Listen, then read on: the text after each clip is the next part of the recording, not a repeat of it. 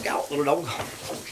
Hi guys, it is a spectacularly gorgeous, I mean over the top beautiful day here in the end times in the paradise of Portland, Maine. Uh, here on this gorgeous, going into Labor Day weekend, Friday, August 31st, 2018. We have made it to the end of another month in 2018, amazingly.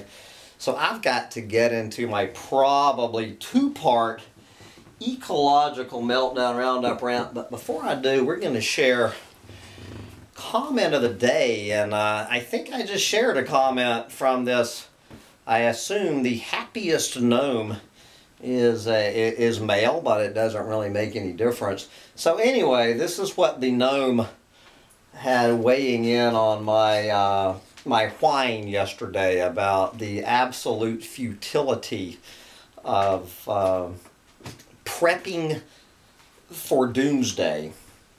All right, take it away, happiest gnome. What are your feelings on this? Yeah, the future is terrifying to imagine. I'm still looking for the right attitude after freaking out my important people. This tragedy is confusing as hell and no attitude sticks. But some straight laughter and integrity both help. I have no time for plastic corporate culture and am nauseated by it now, but can't help but see it. Optimism can go fuck itself. I think we found the title of this comment. Optimism can go fuck itself.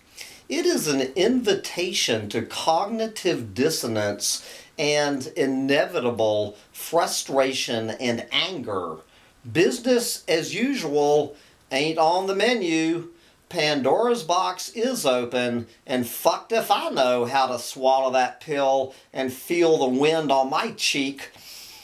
Bitter Cassandra, for the time being, looking for a laugh and some reassuring sanity and trying to reconcile with evil without being enraged by it. Good luck on that one.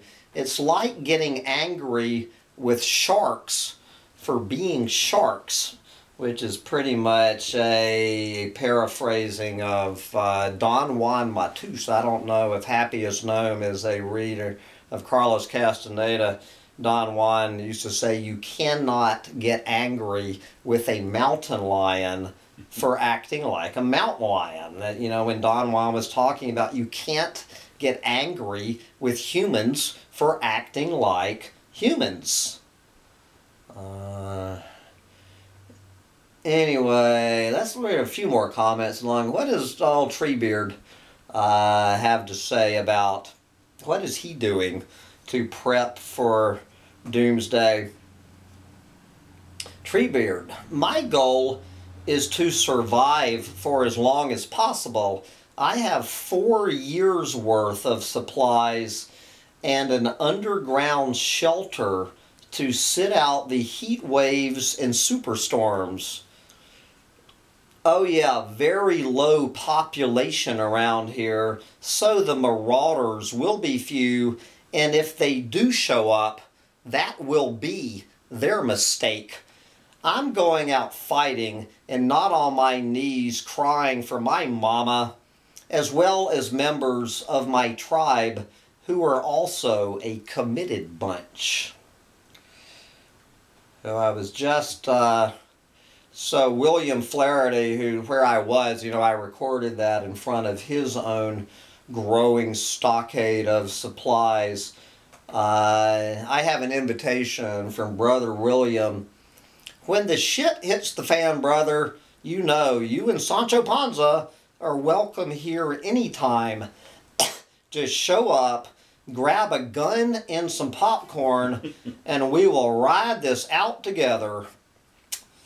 Yep, yep, yep, it's nice to know.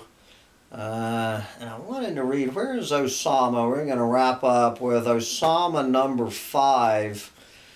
Uh, where was his plan? Barbiturates and bourbon. there, I am all prepped. Yes, and Osama, I will be catching up with you next week. But uh, anyway, guys, enough procrastinating. I have a lot to do on this beautiful day, so I'm going to wrap this up and we're going to head over to mongabay.com to see how this planet is heading into a brick wall at 67,000 miles per hour this week as the clueless fucking morons descend on the coast of Maine. Coming right up. Bye, guys.